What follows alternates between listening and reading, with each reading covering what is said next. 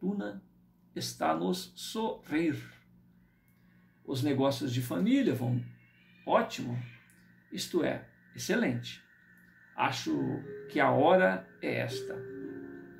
Como entrou num outro bloco, vou fazer uma releitura. Norma, de olhar malicioso, inicia o diálogo com Aninha. Minha filha, no que pude perceber, é urgente nos reaproximarmos da casa de seus primos. Os negócios vão bem, os primos estão disponíveis e quem sabe sai alguma coisa que presta dali.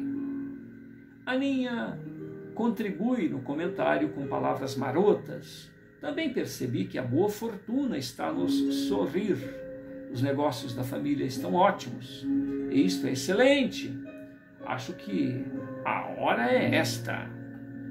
O diálogo raso, interesseiro, não atinge outro patamar, senão o de se locupletarem do saldo próspero do trabalho de outrem. E elas, Norma e Aninha, seguem. Sequer, e elas, Norma e Aninha, sequer valorizam o que já possuem, uma vez que dissipam tudo em jogatinas imprudentes, certamente levarão a desdita aos fraternos. O diálogo raso e interesseiro Naquelas terras arrasadas agora vicejam esforços de entendimento entre miseráveis e os faustos. Ao que tudo indica, uma, um bom acordo estava prestes a ser concluído. Sarvin continua a seguir as orientações de seu irmão mais jovem. Os dons de Giuseppe permanecem mais controlados, sem as peculiaridades de estranheza ou alarde. Ou seja, Giuseppe está controlando mais os dons mediúnicos dele, porque antes ele desmaiava, né? sofria aquele processo epilético, cataléptico, e agora ele é, é uma intuição que vem, né? ele fica só meio estranho e dá o recado.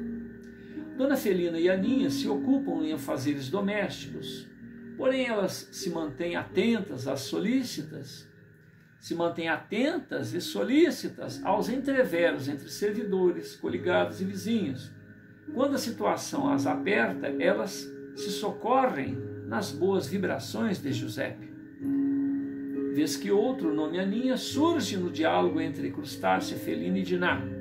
Esta comenta, Diná, a prima, né? A irmã de José, comenta sobre Aninha. Aninha ainda está. Aninha ainda terá oportunidade de reformular os seus conceitos e intenções. Que Deus a socorra em seus pensamentos e desejos. Giuseppe sempre diz aos familiares que se deve pensar o melhor a respeito das pessoas. Então, sua mãe e irmã buscam seguir estas orientações. Ou seja, não vamos falar mal da coitada, né? Em todas as épocas existem aqueles que lucram ou triunfam com o desconforto alheio e a paz conquistada divergia dos seus interesses. Os chacais elucubram um plano sinistro para avivar velhos conflitos e motivar novos ódios.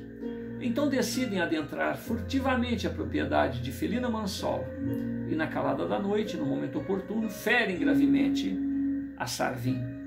O ataque tem por intuito que os grupos antagônicos iniciem acusações recíprocas e consequentes agressões.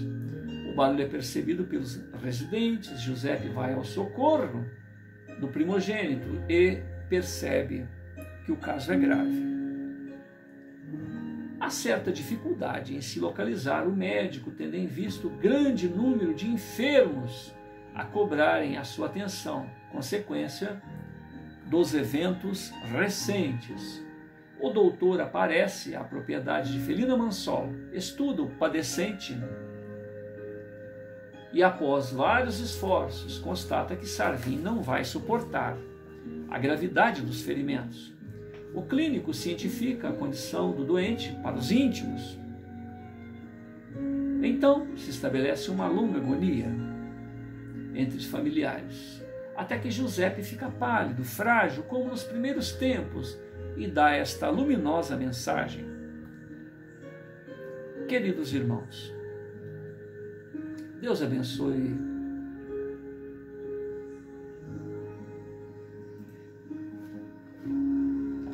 queridas irmãs, porque ele está falando com a mãe, com a irmã e com a crustácea. Deus abençoe a nós todos. Lastimo as dores decorrentes destas horas.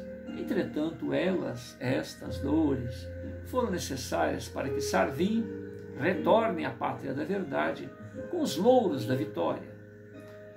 Se melhorando diante das leis divinas e até a inspirar muitos outros à busca das mesmas reformas.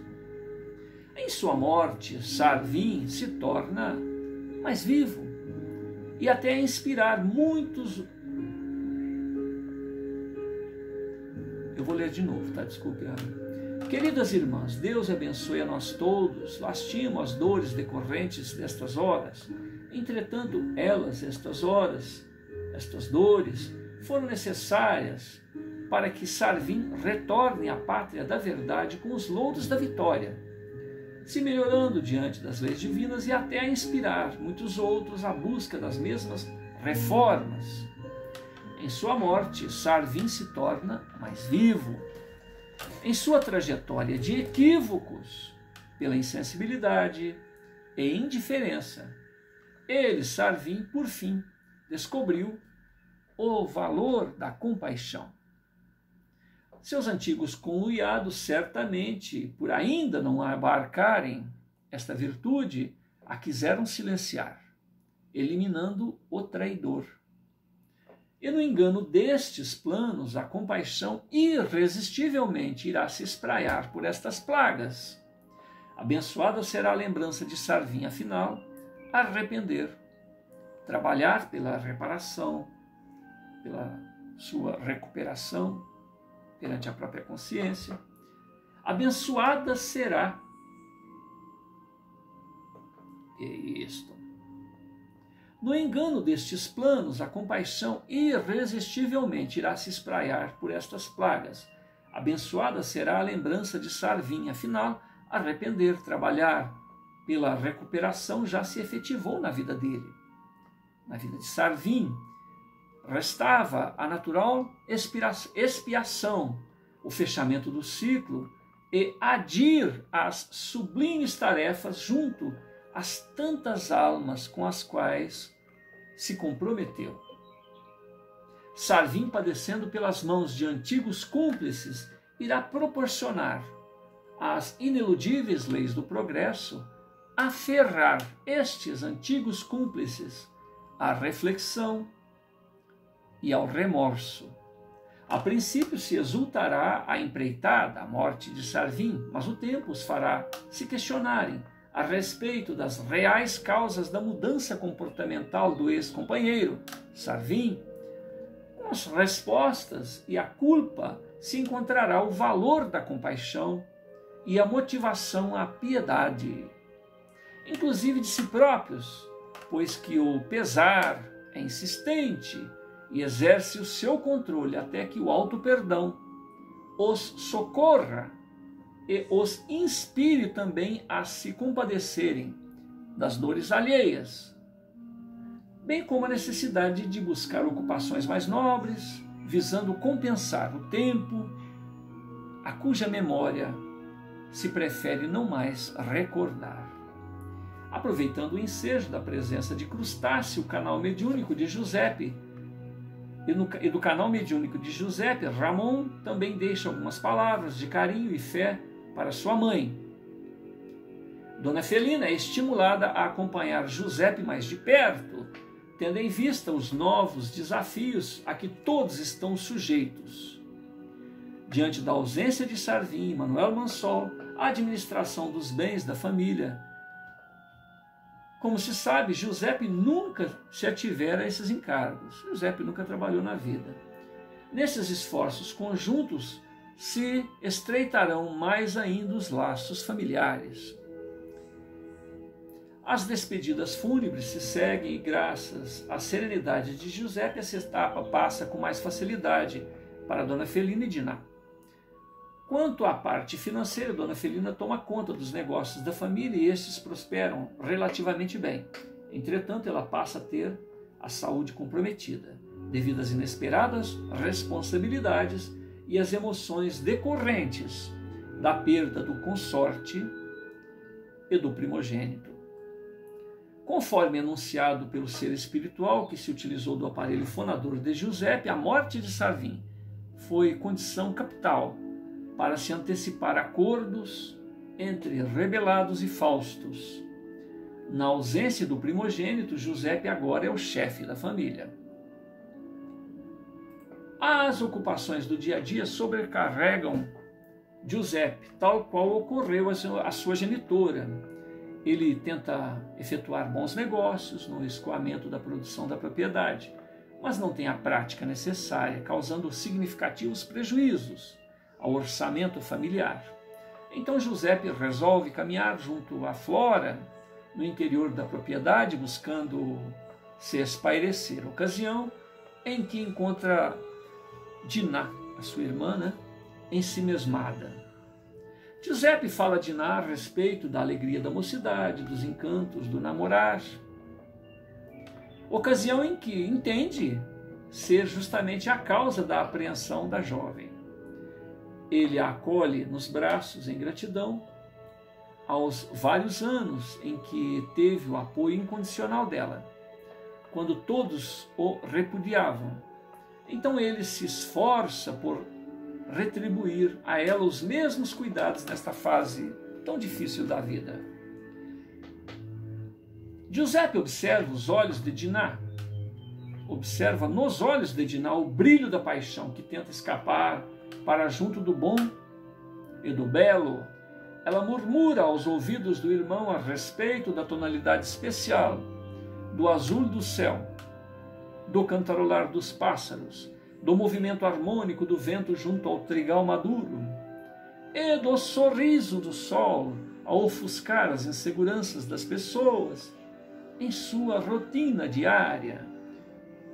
Por fim, Diná afirma: Giuseppe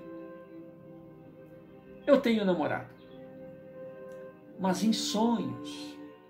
Eu amo muito e queria que ele fosse de verdade. Pois tudo é lindo. Eu estou certa de que nos sonhos eu o encontro. Na vida real não sei quem ele é, nem o seu nome. Eu sei que ele existe, mas não há como ser correspondida. Diná se levanta em animação graciosa Rodopia, qual bailarina se aconchega a uma árvore, a qual abraça e fala: Te amo muito, queridinha. Diná evoluciona sucessivas árvores em beleza e ventura. Ela diz: Não fiquem com ciúmes, eu também amo todas vocês. Lindinhas. Diná acaricia umas folhas, beija outras Bailando em meio à flora, ela faz dos ramos flexíveis braços imaginários de parceiros em uma coreografia cuja música só ela ouve. Giuseppe fica deslumbrado com os êxtases de sua irmã, ele não se atreve a interrompê-la até que encontra o momento oportuno para chamá-la ao chão da terra. Ele não se julga a pessoa ideal para cumprir tal advertência, uma vez que a sua própria vida, a vida de Giuseppe, nada mais foi que o voejar incontido do espírito. Giuseppe muito se desculpa por fazer esta convocação, Diná compreende e também pede escusas pela brincadeira. Tendo a atenção da irmã, Giuseppe roga sua compreensão para assunto no qual ele não consegue se desembaraçar, quer seja a mãe doente, o pai e o irmão que se foram, de sua incompetência para administrar os negócios da família, das dívidas que se acumulam, da necessidade de encontrarem soluções para estes problemas Giuseppe sabe, acima de tudo, que tudo é transitório neste chão da terra. Mas, se temos desafios a nos ocupar, de boa mente devemos os enfrentar. Enfim, colocar a casa em dia. Abraçados e sorrindo, eles retornam ao reduto doméstico. página 64. Os conflitos sociais ainda exigem soluções, a partir de negociação que não termine em novos enfrentamentos, derramamentos de sangue. Ainda há, de um lado, o luxo e privilégios de alguns, e de outro, aqueles que não têm senão seus braços, quando saudáveis, para garantir a própria sobrevivência, quer seja a maioria dos envolvidos. Em meio a uma sociedade que considera seus servidores como animalejo, sem alma, esses lacaios lembram a si próprios que não o são e se empenham em construir e fortalecer os laços familiares, que por extensão têm desdobramentos místicos, espirituais, comunitário, social, solidário, sublimando o próprio interesse ao interesse coletivo, a família faz lembrar a si mesmos que são e continuarão sendo humanos. Para a elite, os escravos são animais domesticados, a cuja função é servir e dar lucro. Neste afã, os escravos têm direito de se alimentar, de terem um abrigo e nada mais. Embora alguns faustos ainda se dignassem a dar algum dinheiro no intuito de tornar os seus trabalhos mais produtivos, dentre eles estava Dona Felina Mansol, seguindo a orientação de seu filho Giuseppe Restarte, os demais viam com reproche. Tais melhorias nessa relação entre senhor e os escravos de sua propriedade. Na propriedade da irmã de Felina Mansol, ocorre diálogo entre Norma e a sua filha, Aninha, a respeito da morte de Sarvin e da fortuna que agora está nas mãos de Giuseppe Restarte. Norma alerta a filha para o fato de que durante todo o tempo em que lá estiveram, o idiota do Giuseppe só tinha olhos para ela, para a jovem Aninha. Aninha, sabendo de seu valor para livrá-los da ruína, consequência das jogatinas de Serzúlio e da própria genitora, ela, Aninha, se faz de difícil e lembra a genitora das tantas vezes em que sugeriu ter o Giuseppe como consorte, no que foi severamente objurcada. Norma de Moestaninha, quanto a desmerecer a sua compulsão pela mesa de jogos, afirmando ainda ter esperanças de ganhar muito dinheiro. E ela, Norma, faz lembrar à filha de que quase ficaram ricos na última vez em que jogaram. Aninha avisa a genitora que o senhor que está com a hipoteca da propriedade deles só não executou porque ele ainda tem esperança de que ela, Aninha, lhe conceda favores sexuais. Norma não socorre a filha no devaneio na possibilidade deste evento limitando-se a dizer que ela, Norma, não quer viver como essa gentinha, não quer viver na mendicância, ou seja, Assim, esta conversa fútil se alonga até que Serzúlio, pai de Aninha, adentra a residência. E, como sempre, trazendo notícias de dívidas, cobranças e a esperança de reaver tudo em nova mesa de jogos. Serzúlio nunca traz boas notícias, entretanto, ele se apega à possibilidade de virar jogo.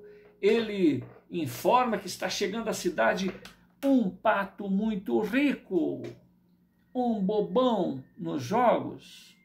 Ele diz que tal jogador não entende nada de jogos e que vai trazer para a mesa de jogos joias e muito dinheiro. Norma debocha das esperanças do marido. Ela diz que ser Zúlio é um cafifento, um azarado. E nada mais. A conversa entre os três permanece no patamar do próprio interesse. e no ganho fácil de muito dinheiro. Finalmente retornam ao assunto da herança de Giuseppe. Restarte ao que fica sugerido que a Ninha dê em cima do primo. Embora não tenha certeza de que ele tem interesse por mulheres. E todos riem desse último apontamento. Página 65. Deste colóquio familiar fica definido que a Ninha é a salvação da família e que a sua missão é a de casar com o primo lunático. Embora não se tenha, embora a jovem Aninha não tenha alma escura, ela acompanha as orientações dos genitores. Por fim, Aninha diz: Se sou eu quem vai resolver este problema, amanhã eu retorno à casa do primo Giuseppe e deixem o resto comigo. Assim falando, Aninha adentra aos próprios aposentos e vai arrumar os longos cabelos. E por aqui nós deixamos um suspense né, para a próxima etapa. Nós rogamos a Deus, a Jesus, que permita que estes esses apontamentos né, da Shirley façam que, nós nos identifiquemos, com que nós nos encontremos, se estamos mergulhados nessa vida interesseira, imediatista, na ilusão de que tem alguma coisa e ao mesmo tempo jogando tudo fora. Ou se nós estamos prontos para perder tudo e, na verdade, é o momento em que a tudo ganhamos. De um lado, Giuseppe, que demorou toda um período aí de ele já com 18 anos, por vários anos, sendo reprochado por Norma, pela sua mãe, pelo seu pai, pelo seu irmão mais velho. Finalmente, eles entenderam pelos apontamentos que ele ia fazendo, pelas consequências de suas palavras, que ele é que estava certo. Nós devemos nos solidarizar, nos importar com o próximo. Há um momento anterior, aqui nas páginas anteriores, onde Giuseppe dá uma aula de direito, de história para a mãe dele, para mostrar que aquilo que ela chamava de eh, fortuna que eles têm, porque adquiriram legalmente, que legalidade é essa? O que, que não foi cometido para que aquele, todo aquele patrimônio estivesse na mão deles? Né? Aqueles escravos, naquela época, eram considerados coisas, inclusive legalmente. legalmente. Eram hipotecários os escravos. Serviam de garantias em mesas de jogos, negociações. Era um comércio muito lucrativo. E o Brasil, infelizmente, foi o último país assim. Para vocês terem uma ideia, durante as reuniões das autoridades políticas, se negociava em que termos que esse ou aquele grupo de escravos seriam libertos, alforriados, se o, Estado indenizar aquela lei lá do, do ventre livre, né, que, que as pessoas de, acham que, que, o escravo nasceu, nasceu livre, ele nasceu livre, mas tinha obrigação de trabalhar para quem, para quem, em tese, era, era, era proprietário né, da, da família, de onde ele nasceu. Tinha que, ele tinha que trabalhar um período, pagar uma multa, para que realmente ele fosse livre, fosse alforriado existia aquilo que estava na legislação, existia aquilo que estava na prática. Então, aquela história da lei que não pegou. Né? As punições políticas, de um modo geral, as punições de, de, de relacionamento entre pessoas eram diferentes entre o povão e a elite. E com exceção dos escravos, que não tinham direito nenhum. E hoje, né, 2020, dezembro de 2020, a gente já vê uma nova realidade aí, né? Sofrimento ainda de um grande número de pessoas, mas que de uma maneira ou de outra nós estamos vivendo uma outra situação em relação àquela época e uma outra situação em relação a nós mesmos, porque se até então a nossa solidariedade visava o mundo externo, agora nossa solidariedade visa o mundo interno. Aquilo que o José falava, né, o personagem aqui, o indivíduo melhorar ele mesmo, isso é básico, porque a partir do momento em que você acende a própria luz e você se desliga desse momento convencionado, você consegue ver a coisa assim como a gente vê as coisas, né? 1880, 2020, 200 anos aproximadamente. A gente consegue ver a coisa daqui a 200 anos, como seria, e a gente já se antecipa na nossa posição perante a vida.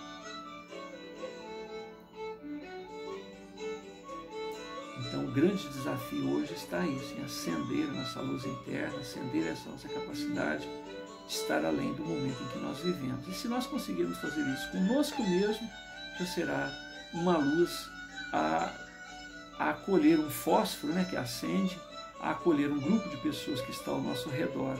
E se outras pessoas, a semelhança do que esse espírito aqui falou através da boca de, de, de José para a família, o Sarvin era um perseguidor dos escravos. E ele passou, a, sob orientação de José, a mudar tudo isso, a tratar os escravos com mais humanidade. E esse comportamento inspirou uma mudança social no ambiente em que eles viviam. E posteriormente até nas, nos acordos né, que, que, que iam sendo feitos até o momento em que ocorreu a, a libertação legal mesmo dos escravos. Então, o convite desse, dessa história, ela está em a gente estar além de nosso tempo. E essa busca é o nosso grande desafio. Ao invés de nos atentarmos para o nosso mundo externo, ou socorrer isso, socorrer aquilo, que é inevitável, a gente acaba socorrendo, mas vamos socorrer a nós mesmos dessa nossa ilusão e dessa nossa limitação né, de ver a vida conforme o mundo ao redor nos apresenta. Ah, é bonito fazer isso, ah, é normal fazer isso, é normal esse tipo de pensamento. Tá, vamos lá. Vamos mergulhar no nosso mundo íntimo e ver como será daqui a 200 anos, 300 anos, mil anos. Jesus investiu na gente há dois mil anos. Desceu à terra numa condição humana nunca tendo sido uma pessoa normal, sempre foi o mestre, né? sempre foi aquele eh, protótipo né? do, do, do modelo de todas as épocas e investiu em nós. E até hoje, dois mil anos passados, nós estamos tentando entender como é que ele, que ele conseguiu o que ele conseguiu, como é que ele tinha as potências espirituais que ele tinha, a autoridade que ele tinha, a força moral que ele se fez portador. Como é que ele conseguiu isso tudo? Então, se a gente mergulhar em nós mesmos, nós teremos também essa possibilidade.